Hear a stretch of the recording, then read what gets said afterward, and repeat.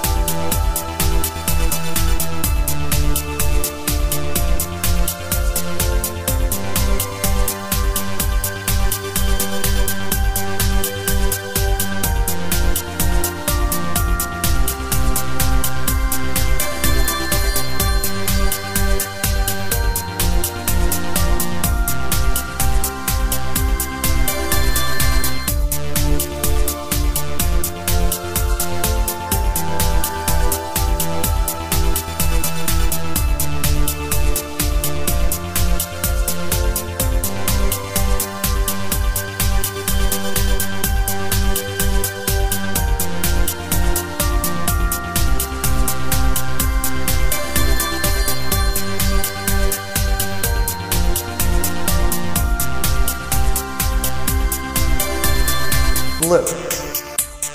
Blue is the water is blue. Cold or ice is blue. The sky is blue. Now how can the sky and ice be the same thing? That's.